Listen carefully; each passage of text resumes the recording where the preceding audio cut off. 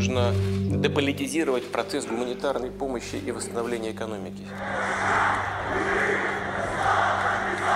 هذا اللقاء يشكل مرتكزا اساسيا لخطوات اكثر انعكاس على متطلبات المواطن السوري شفتوا وين شفتوا We're keeping the oil. We have the oil. The oil is secure. Uh, we left troops behind only for the oil. עשר שנים וחודשיים, זה הזמן שחלף מיום שפרצה מלחמת האזרחים בסוריה, וכעת כשהתותחים עדיין לא שקטו לגמרי, המטרה העיקרית של משטר אסד היא לבנות את המדינה מחדש. When you talk about 400 billions less or more, this is approximate, is the whole economy. את הקושי שבמשימה הלא פשוטה הזאת, אסד דווקא מנסה למנף כעת לטובתו ולטובת מסע הבחירות שלו לנשיאות, שיתקיימו בסוף החודש הבא. اليوم نحن صحيح عم ندافع عن المستقبل عن حاضر المستقبل بهالحرب لكن كمان انتم عم تصنعوا المستقبل אבל הקולות נגדו גם בחלוף עשור עדיין נשמעים, לצד קולות הקוראים לשים קץ למעורבות הזרה במדינה.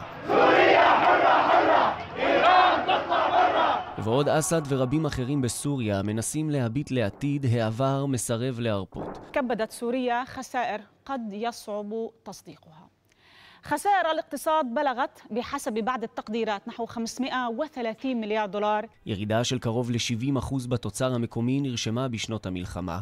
במקביל, החוב הפנימי של סוריה שילש את עצמו, ובחודשים האחרונים ערכה של הלירה הסורית הגיע לשפל חסר תקדים. قبل عشر سنوات كان سعر العملة السورية 47 ليرة مقابل الدولار الواحد ولكن اليوم وصلت إلى حدود 4000 ليرة مقابل الدولار המשכורת החודשית הממוצעת כיום בסוריה היא 150 אלף לירות סוריות, שהם כ-120 שקלים.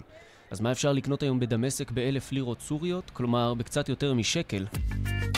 השחקן הסורי באסם יחור יצא לבדוק. ألف ليرة العرنوس مشوي ولا مسلوق؟ نفس السعر اثنيناتهم بألف عرنوس عرنوس درة بألف ليرة منيح لساتها بتشتري عرنوس ده جوز جرابات تجاري بألف ليرة لساتنا فينا نشتري لهلا ألف ليرة شو بتجيب لنا جوز؟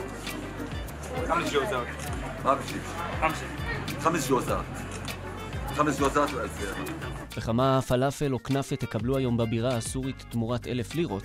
הנה התשובה. من عند بيسان هن الفلافل خيالية يعني سندويشتين فلافل ب 100 ليرة نارنسية قد ايه؟ 1100 معناتها 1000 معناتها 1100 رفعتوا للسعر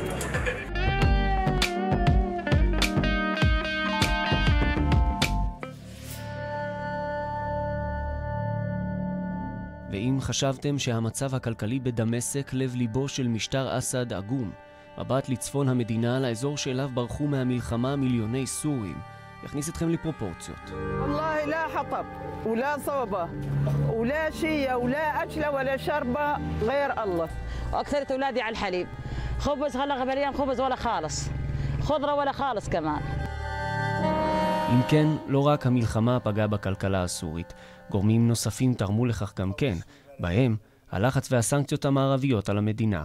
قيصر قانون عقوبات لزيادة العزلة المالية والاقتصادية والسياسية لرئيس النظام السوري بشار الأسد وحلفائه يحظر على الشركات الهندسة والمقاولات وهي القيام بأي عمل داخل سوريا מי שפחות אוהב את מעורבות המערב בסוריה היא כמובן איראן. ضروری است هرچه سریعتر نیروهای تروریست آمریکایی از کل منطقه به ویژه سوریه خارج بشن و حاکمیت دولت سوریه در تمامی سرزمین اون گسترش یابد.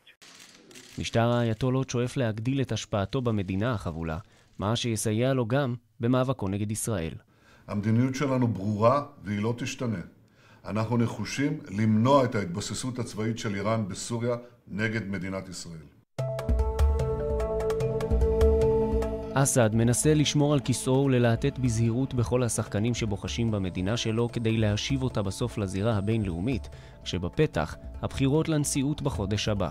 أدعو من يرغب بترشيح نفسه لمنصب رئيس الجمهورية العربية السورية التقدم بطلب الترشح إلى المحكمة الدستورية العليا ובעוד שהבחירות האלה, שסופן ידוע, מעניינות את הסורים, הכסף מעניין אותם יותר. والله نحن يعني بنتمنى يصير انتخابات ما يعني ما بنكره هذا الشيء بس بدنا كمان تحسن معيشي للناس ووضع الناس يعني סוריה מנסה להתנער מעפר המלחמה ולחזור לחיים נורמליים. הדרך לשם לא תהיה פשוטה, ובינתיים, כמו תמיד, האזרחים וכיסם הם הנפגעים העיקריים.